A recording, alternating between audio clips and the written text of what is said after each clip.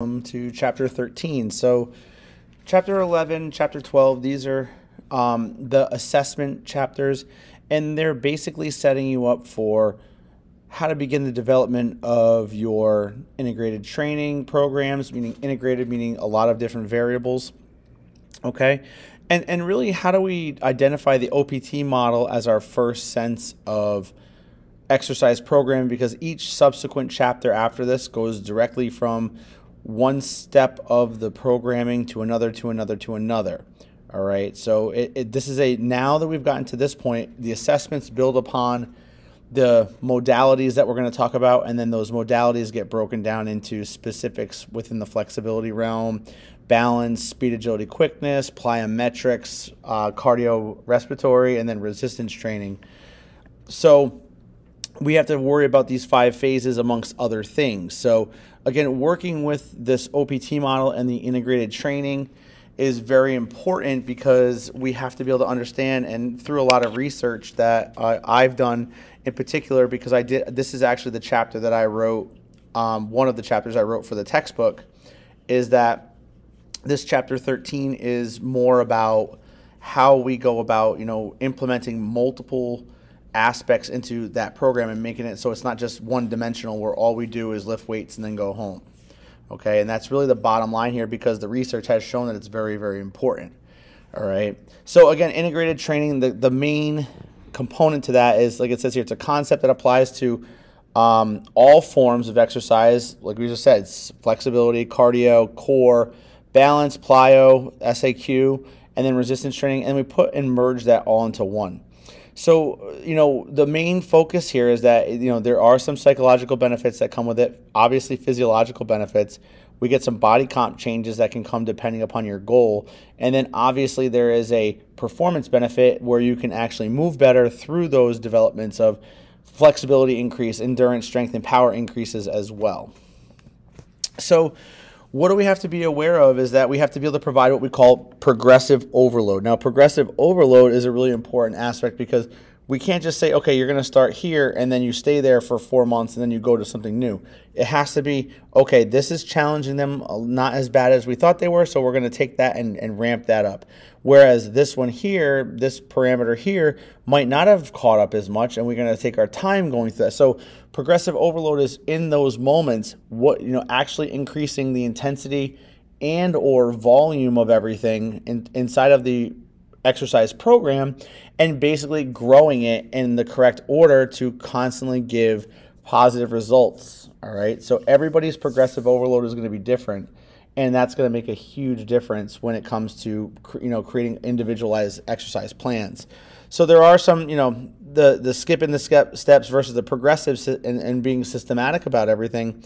Yeah, I mean increased risk of injury, client frustration, not meeting goals, or lacking or delaying those goals. You know, lack of measurement and tracking. The worst thing I have seen inside of facilities, and I really hope that everybody who watches this video understands is that you have to be able to document. You have to be able to track from where they started and move them through a specific training program. And without being able to do that, you don't know which direction to go in. You can't just make up a workout on the fly and expect that to be some sort of amazing miracle that's going to happen. So you have to make sure that you have this ability to track. And then also, there's just an inconsistency within that programming, and then that just leads to a disaster in its own mind. All right. So, the main thing we want to focus on here are those five things on the bottom when we're talking about you know specific aspects of our movement patterns, we want to make sure that we're hitting on those those aspects of squatting, hip hinging, pulling motions, pushing motions, and vertical pressing. All of those motions will give us different planes of motion to work in. They're very dynamic in nature and they can always be manipulated and modified. So all of these movement patterns will help, but th those are the main aspects of everything. Squatting is anything from sitting down and trying to, you know, sit in a chair up and down. So the elderly population can work on that with a little bit of added weight. You know, that's just a simplistic way of putting it. Hip hinging, bending down and getting something off the floor.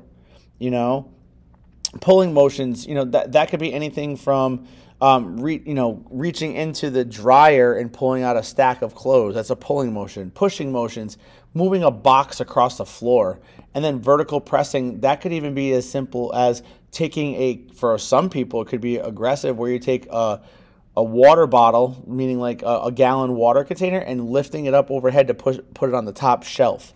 So these are all things. You know, that's how that's how you're taking your activities of daily living and transitioning them from the movement patterns that we try to establish in, in our integrated training and progressive overload.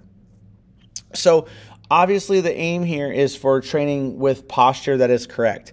So, if we've assessed that that person statically, you know, again, I, and I say statically, but in it without movement in terms of moving feet forward and backward, but doing the press, the pushing, the pulling, the overhead squat and single leg squat assessments, we can determine where their optimal posture, you know, if they have optimal posture for specific movements. So we, you know, with optimal posture, with optimal form, which we could also say we reduce injury risk, we maintain health of that person, and we make things more enjoyable because you're not compromising them and making them feel uncomfortable in a in, in something that is supposed to well, not necessarily be comfortable, but the exercise is supposed to be challenging without feeling some sort of way.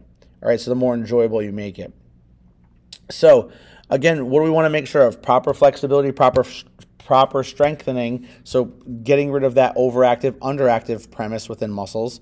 We also want to work with unilateral bilateral, meaning side to side, one at a time, or double bilateral together at one time exercises along with front and back, anterior, posterior.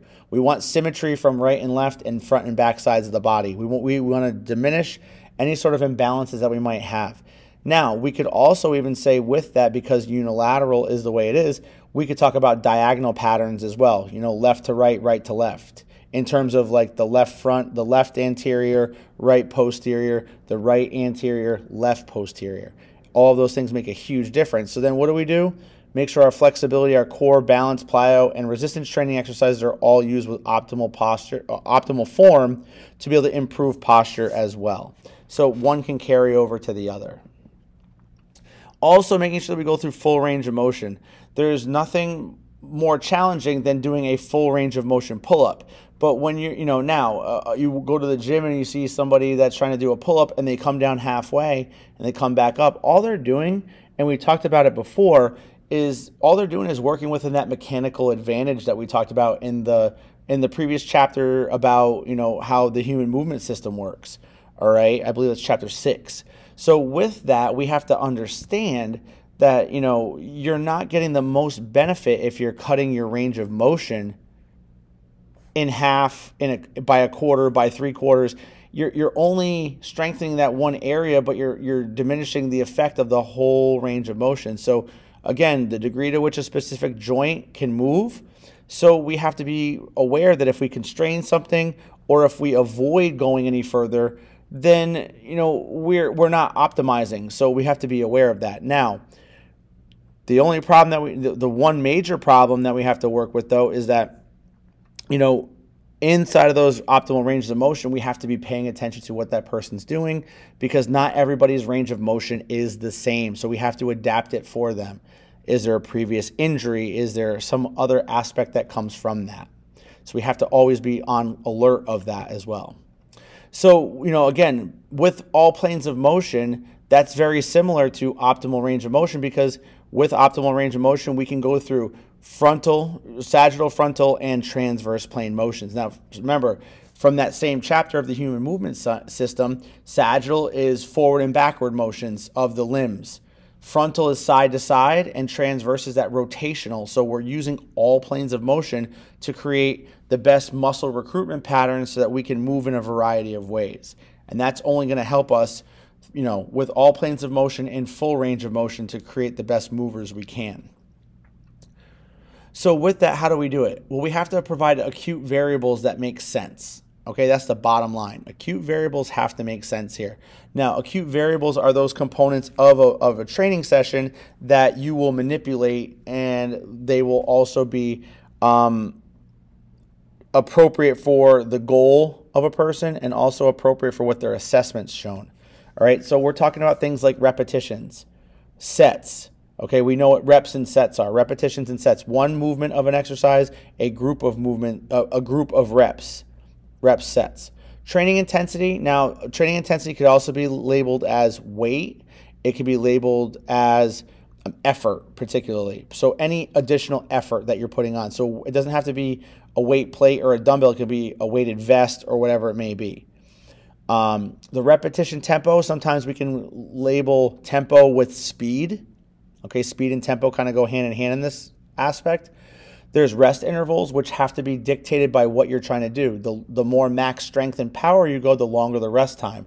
The more stabilization and muscular endurance that you provide in terms of the, the OPT model and what phase you're in, that will have less of a rest period and more volume, which we'll talk about in a second. And then in the middle there with hypertrophy, you know, we're talking more about that uh, moderate range of reps, sets, and rest. So training volume truly is the number of the it's the sum of the repetitions performed multiplied by the sets that you have. So if you did, let's just go through that example there. If you did five sets of six, okay, that equals 30. But if you did five sets of six at 100 pounds, then that's going to equal 300. Um, that's too many zeros. There we go. That's 300. All right, so therefore, when you know you can have what we call a, a, training volume or a rep sets volume, or you can have what we call a true training, a weighted training volume, which includes the, the amount of weight that you do. So either way is correct. So if you're trying to see how much overall weight you're lifting in that, that's your overall volume whereas this is more of your your train your exercise volume, which is more of like your your reps times your sets. So training frequency, how many days per week? We can always modify that. Training duration, how long each session is inside of that frequency, how, how long you're training in that one session. Um, exercise selection, what mode or what type, what type of exercise are you doing for what body part? And then lastly, exercise order.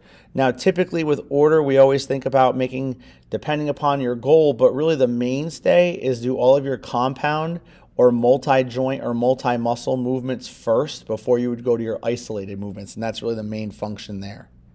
Okay.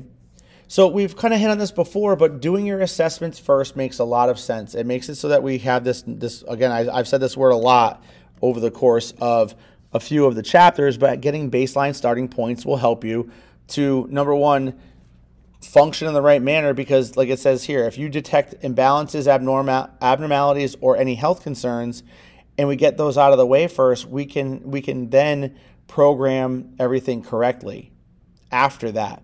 Or should I say, if you have a baseline and it has imbalances, abnormalities, and health concerns, that's your baseline, and it's it's it's more of a poor health re- regimen at that point. So therefore, our baseline is very low, and all we can do from there is corrective exercise and positive um, positive training through all integrated functions at that point.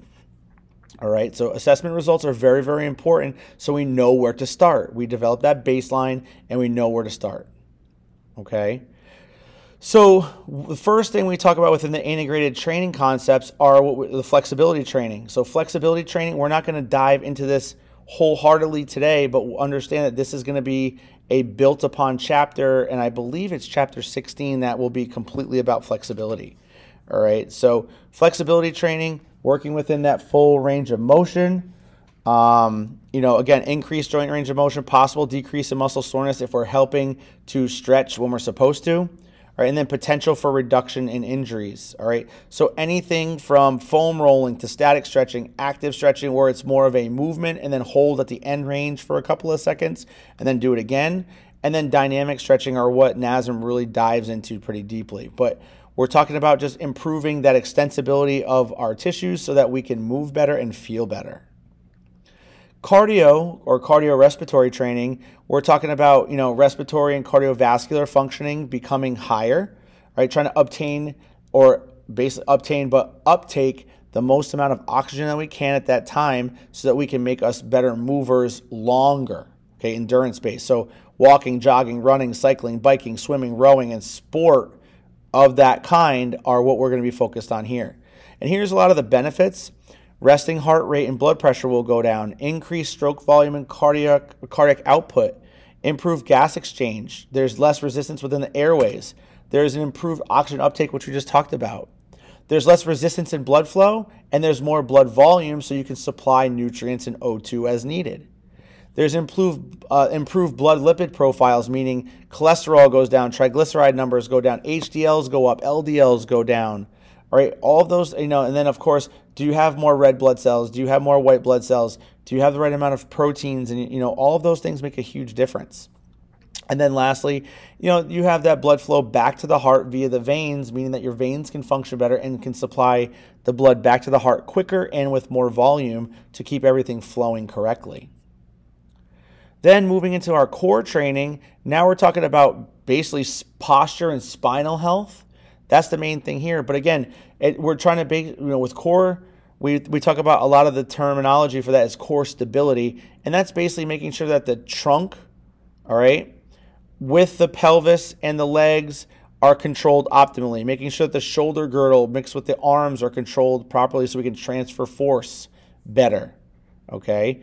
We're basically trying to get the, the core musculature, which to be very, you know, very non-specific, which we'll get more into core training, I believe, in chapter 17. Um, I believe it's chapter 17. Um, no, chapter 16. I think uh, flexibility might be 15.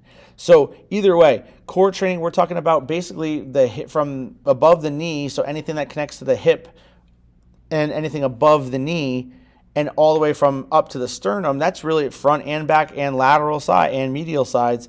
All those muscles that connect in those regions are your true core. It's not just your abs. So we want to get rid of that myth and misconception right now. So really, again, what's the benefit? Again, posture and, and spinal health. Um, you can function better for all of your activities of daily living. Walking up and down stairs won't be so much of a challenge if your core is healthy, surprisingly enough. If you're on the job, meaning like even if you're if you're a police officer, a firefighter, a garbage worker, you know, that collects garbage, like all all those individuals have, you know, different movements that they do throughout the day. And by by having a strong core can help them stay stable so they don't have so much injury potential. Okay? Um so also increase balance, stabilization, and coordination of our chain, of our kinetic chain. You know, we can minimize low back pain. We can improve our skill-related movements, things like uh, and power. So skill-related movements, more athletic-based things like a tennis racket, a golf club, um, playing basketball. You know, being able to be agile, balanced, coordinated, and core the core stability of that helps everything. Helps everything. Balance training again, ability to main, you know, to um, maintain your balance over a base of support and without falling, like it says here. And that's really again postural control. No, you know, having a good sense of your center of gravity, having a good base of support so you can stay within that center of gravity so you don't fall. So at that point there, yeah, there we go. Reduce risks of fall. We can reduce ankle sprains. We can improve our landing, like if you're working on jump training. You can improve lower extremity strength. Okay, proprioception and body knowing where your body is in space and body awareness. All right, and then there's the agility again, agility based outcomes in athletes. The more balanced you are, the more you're able to change direction very handedly. You have stronger hip musculature, all right, and you all and also of the lower extremities. So balance training provides this optimal position and place for where you're supposed to be. Plyometric training. Okay, plyo is, you know, it can be labeled as reactive training or jump training, but don't just assume that a box jump is a plyometric activity. So we'll get more into that later on in the specific plyo chapter, but know that that's part of the exercise plan. All right. So again, plyometric training has a lot to do with power. So being able to move higher loads faster. So even if it's just your body weight, being able to propel your body faster. Right now, it doesn't require a lot of volume because you're working very, very hard in what we call that stretch shortening cycle. So we've talked a little bit about that in the muscular chapter, but working on pulling that rubber band really tight and then letting it go very quickly. That's the true definition of that reactive plyometric base. So again, with this, because there's a lot of force involved, we're gonna, you know, we're gonna, and because it's what we consider weight bearing, bone mineral density, and, and diminished risks, you know, increased bone mineral density, decreased risks of any joint or bone injuries. Again, uh, positive for that, improves soft tissue strength, and that can decrease injury. Metabolic expenditure, when you're doing plyometric bases, your heart rate can get up pretty quick, you know, and that can also help with a little bit of body composition changing and weight loss. Strength and power for athletes and the general population doesn't really matter. It's anybody. Muscle contraction and nervous system synchronizing or functioning better, with you know very quickly and and it's able to you know basically sync up to the to the point where you don't have uncoordinated movements. And then improve performance if you're going to be even if it's it doesn't have to be just an athlete it could be a recreational sport it could be on a sunday playing volleyball at the beach it doesn't matter. All of this will help. Speed, agility, and quickness sounds the similar to plyometrics, but it's not. Here we're working on um, motor skills. All right, so being able to you know have fundamental motor skills and increase the capacity of those. So even if it's like something like fast, quick hops or fast, quick skips, all of those things make a huge difference when it comes to you know better precision, better game time functioning, better movement. Again, because anybody can work within this. All right. So that's one of the main factors there. So we're also helping with fall prevention. We're helping with, again, we said agility, reaction time. We're talking about sprinting velocity can all help with this, and then lower body power. So it does kind of have a trade off between power, plyometric, speed, agility, and quickness training. They all kind of inter interrelate. All right. So yeah, top speed, change of direction, rate of acceleration and deceleration. All right improve physical, you know, health related physical fitness. Even though you're working skill related, it helps you feel better and and kind of have that natural day to day, you know, feel of that. Um, enhance response time to a stimulus or a better reaction time. Perfect. That's what we're all about. Is that speed and quickness and, and acceleration, reaction time and then improves you know technical skills of things like sprinting which is straight linear speed versus change of directions which is more agility and quickness so being able to start and stop turn on a dime everything like that so resistance training that's this is the end marker of the last part of our of our true exercise programming model. So we started at flexibility and we've progressed all the things that we just talked about from flexibility to this resistance training would make up a one training session model. All right. So again, strength, hypertrophy, bone density, cardiovascular health, muscular endurance, all these things, body composition changes, all this can make a huge difference if we use resistance training correctly. All right. So again, endurance, strength, power, muscular hypertrophy, weight management, resting metabolic rate, resting heart rate, blood pressure. So then there's your cardiovascular. Improve coordination and athleticism through higher levels of strength and endurance and power. And then decrease risk of injury to ligaments, tendons, cartilage, and muscle fibers. So, very, very important for this aspect. Resistance training is not just to get stronger, there's way more to it, and we'll dive way more into that in its own specific chapter. So what are we looking at in, in terms of? So we started. If we go back up, started at our flex. Our so our integrated training consists of. There's the first one, flexibility. It's, it doesn't have its own label, but it's there. And then we progress from flexibility. We would then add in a little bit of cardio into our training session, or this could be part of your warm up, or it could be a dedicated day. Core training would be in your daily workout. Balance training in your daily workout. Plyometric in your daily workout speed, agility, and quickness in your daily workout, and then resistance training is in your daily workout. You can manipulate any of those variables on any given day for any given person, and that's what makes it very, very dynamic, and it can be always used in the right manner. So that's what the OPT model is all about: is giving you the right level to train at stabilization, strength, and power. If you look at this here, look at the stabilization, strength, and power. All three of those are the levels with five distinct phases Phase one works with stabilization, phase two, three, and four with strength, and phase five with power. So we'll, we'll, dive right into that and, and kind of focus on those parts. But stabilization, the first introductory phase. This is the one where if you haven't worked out before, this is the one you're going to start in. Okay. What's your improvements for this? Well, the focus is on movement patterns, getting better at them, exercise technique, changing muscular imbalances, getting your range of motion back, getting your flexibility back, improving your stabilization of your core and the peripheral joints, so your limbs, preventing injury to any sort of, you know, tissue overload. So anything from muscles, tendons, ligaments, joints themselves that will impose demands. Okay. Um, and then you know, obviously with that improving our overall cardiorespiratory conditioning right all those are part of that stabilization it's the first phase anybody can be in this but this is where the new beginners would go to. But anybody can drop down into the stabilization when we want to get like a, a, a refresher for our body or a quick fix. So there you know what's the goal? Optimal movement patterns. There's specific exercises that we'll go into during this section that will open this up a little bit more. But again, they're more about slow and controlled movements with lighter loads, um, and then proper posture and exercise technique are going to be there. Strength, on the other hand, has those two, you know, phases two, three, and four. Phase two being strength endurance, phase three being muscular development training, more about hypertrophy, and then phase four being maximal strength training goal here is to obviously provide specific stimuli for our muscles. Okay, um, that's going to be the main goal is to be able to provide that correct stimulus.